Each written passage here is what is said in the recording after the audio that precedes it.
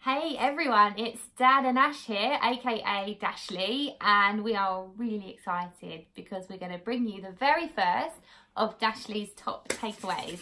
And what this is, is each month we're going to read a book and share with you our top takeaways from that book.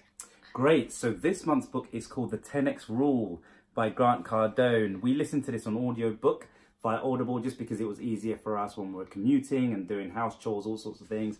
Um, but it is a fantastic book, so check it out. The book really introduces you to the concept of multiplying your efforts and your mindset by 10. And if you can do that, it will really help you to achieve your goals. So we're going to give you our top three takeaways and we hope you enjoy it and we hope it's useful for you as well.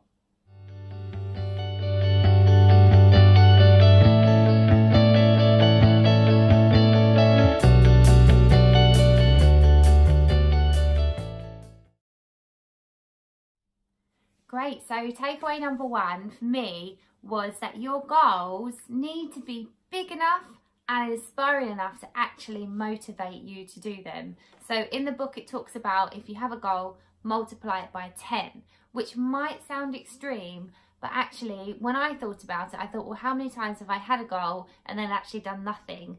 And it's probably because that goal wasn't inspiring enough for me to actually do anything about mm -hmm. it. Mm-hmm. So big goals, aspiring goals will actually give you the motivation that you need. Yes.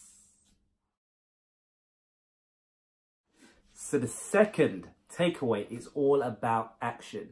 And what it says is that people often underestimate the level of action and activity it takes to reach a goal. So if I reflect and I look at goals that I haven't achieved in the past, when I look back at them, I think to myself, ah, it's because actually that took a lot more than I realized to achieve that goal. And I actually never did it because I didn't take the massive action that was needed.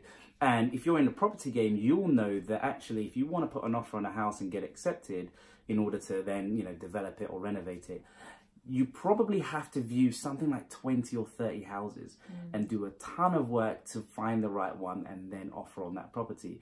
So it's all about multiplying your action and don't underestimate how much it takes.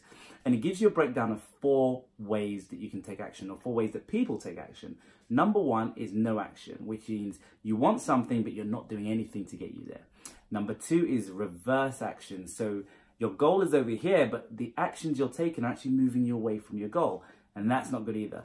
Number three is average action. So everybody takes a little bit of action. They're doing some of the things right, but they're not being consistent. And number four is all about massive action. You will stop at nothing to achieve your goal. So if there is something that you want, think about number four, always massive action. Stop at nothing to do it and overestimate the amount of effort you're gonna have to put in and then you'll get there. So takeaway number three is that fear is like a fire. So the book describes how fire needs oxygen to burn and the more oxygen you give it, the more it burns. And then it talks about fear and how time is the fertilizer for fear. Time is what fuels fear. So if I have a fear of doing something and then I give it time, the little voice keeps saying, well, what if this and what if that? And oh, if you do that, that might go wrong. And the more time I give it, the more that little voice is going to be talking to me. Um, so what the book says is actually to short circuit that and take the action before the fear has a chance to grow and grow and grow. So don't give fear time of day.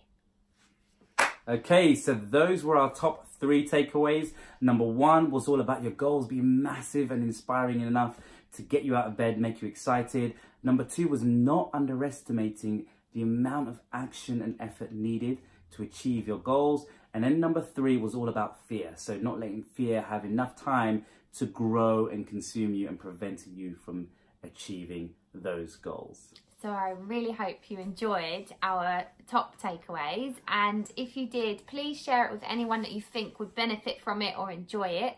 And we are now starting our March book, which is called The Power of Habit by Charles Duhigg. So we will be mm. doing another review, another Dashley's top takeaways at the end of March. So watch this space.